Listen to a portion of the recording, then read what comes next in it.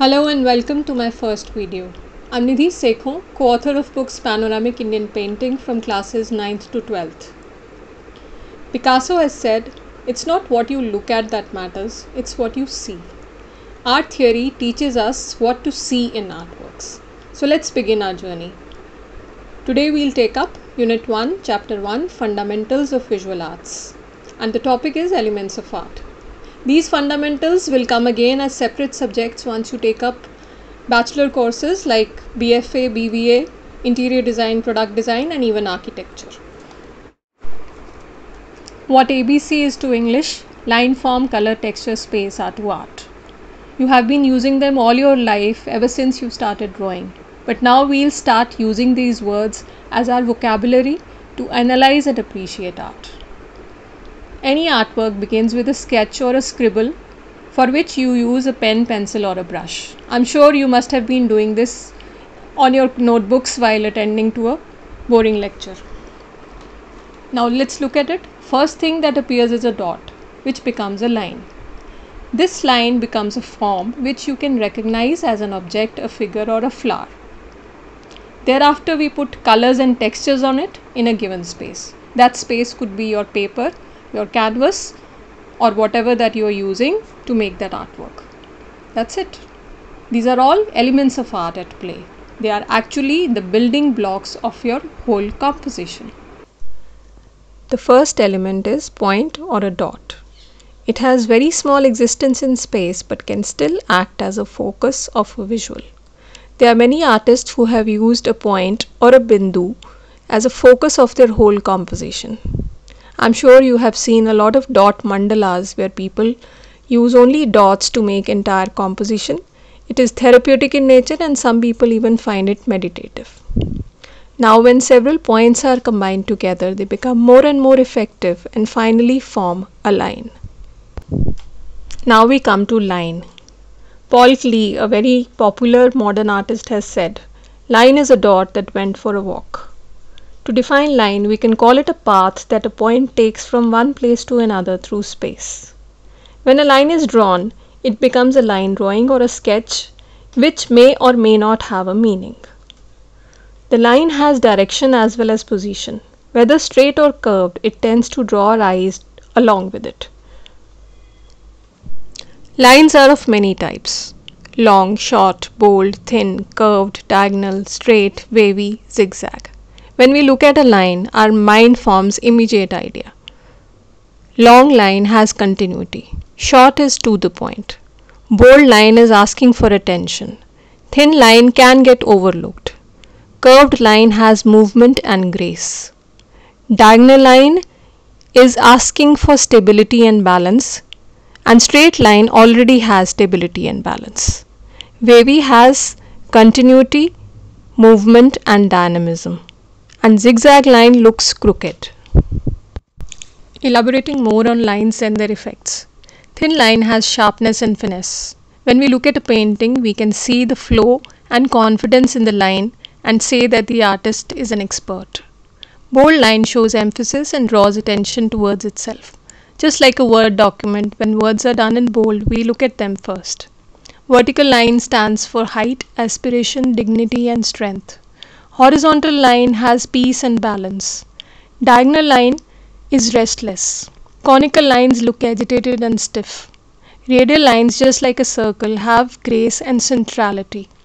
Spiral lines have an engaging motion, mystery, and psychedelic effect. Mystery and psychedelic because they draw our attention towards the center and they look hypnotizing. The next element is shape and form. All of us know that shape is two dimensional with height and width. Form, on the other hand, has depth too. That is height, width, and depth. When shapes become forms, a triangle becomes a cone or pyramid, a square becomes a cube, a rectangle becomes a box. The image is self explanatory, so let's move on. These are the organic or natural shapes and forms. In the previous slide, we saw geometrical shapes and forms, and these are organic or natural. So shapes and forms can be classified into two, geometrical as well as organic. The next important element is color. To define color, we can say color is a property possessed by an object to produce different sensations with the help of reflection of light. I'm sure you have done this definition in science in previous classes. So, light has an important role in defining a color. To understand color wheel, you can make the image on the right by making three concentric circles inner circle with primary, second circle with secondary, and third with tertiary. Coming to classification of colors, first category is primary colors red, yellow, and blue. They are pure and basic. They are equidistant in the color wheel as you can see, and all the colors are made from these. Next is secondary colors. A secondary color is made by mixing two primary colors. They are found halfway between the primary colors on the wheel. You can see it here.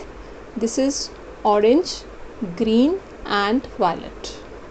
Remember to call it violet, not purple.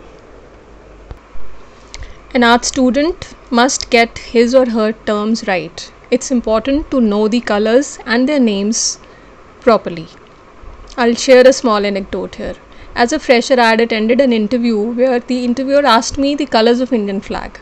I was a little taken aback by this childish question and happily answered orange, white, and green. The interviewer was not happy with my answer.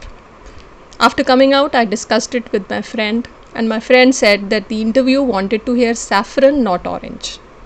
So here it is. You can save the embarrassment and get your terms right. These are tertiary colors. A tertiary color is made by mixing one primary with one secondary. So as you can see the remaining colors are tertiary colors. So this is red violet, this is blue violet, blue green, yellow green, orange yellow, orange red. After doing the classification of colors into primary, secondary and tertiary, we should also know the complementary colors. They are the opposites on the color wheels and they are the perfect contrasts. So, red and green are opposites, orange and blue are opposites, and yellow and violet are opposites. A monochrome means single color. Making a monochrome painting means you are using different tints, shades, and intensities of one color. Analogous means neighboring colors on the color wheel. And neutral colors are white, black, grey and beige. Every color has three dimensions or qualities hue, value, and intensity. Hue refers to the name of a color a red hue, yellow hue, violet hue, and so on. Value or tone is a dimension or quality of a color. It can also be considered as a separate element. A value or tone refers to the lightness or darkness of a color. By giving value and tones, you give depth and perception to any object that you make. Look at the image. A circle starts looking like a sphere or a ball when different values of color are added to it. There are middle tones, there are highlights, there are shadows. See the light falling from the right and casting its shadow on the left. Intensity means brightness or dullness of a color. Fuchsia or magenta are high intensity because they capture our attention immediately. Olive green, on the other hand, is low intensity because it blends into the background. For example, the camouflage uniform of army men. When they are in action in jungles, they wear it because they blend into the leaves and foliage around them. Colors can also be classified as warm and cool. Warm colors are red, orange, yellow, the colors of sun and fire. They have a feeling of passion, activity, and cheerfulness, and they tend to make the body look larger and more dominating. Cool colors are soothing and restful. They remind us of calm water and sky. All the shades of blue are cool, but you have to remember too much of use of these colors can make your artwork look a little depressing too. After colors, we come to the next element called texture. Texture is the surface quality of materials. How the surface actually feels. It could be rough like sandpaper, soft like cotton ball, or harsh like brick or stone walls.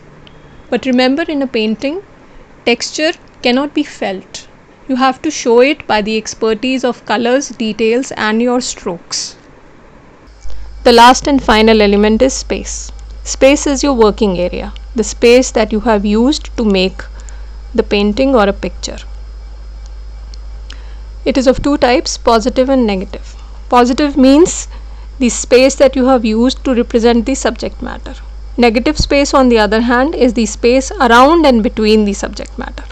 They are both equally important because using too much positive space means your painting is cluttered and if you have too much negative space means it's empty and boring. So you have to use it judiciously. In the beginning of the video, I had said that these elements are going to be our vocabulary. We are going to use them in analyzing art. So let's just take one example from class 11 syllabus, Padampani Bodhisattva and Ajanta fresco. We'll not get into the details of history, we'll just look at the elements. First element, line. In this case, it's very soft, delicate and fine. You can actually feel the flow. The artists, the monks were actually experts in handling their equipment. Next element form. Form is again very soft and delicate. Look at the fingers, look at the features. They are made beautifully and they look actually delicate because he is still a bodhisattva. He is not yet Buddha. He is a prince. So that form has actually come out here. The colors are worthy. The use of browns, oranges and olive green all over the values that he has used in the values of color that I mean are that he has used in uh, uh, rendering the face they bring out the three dimensional effect.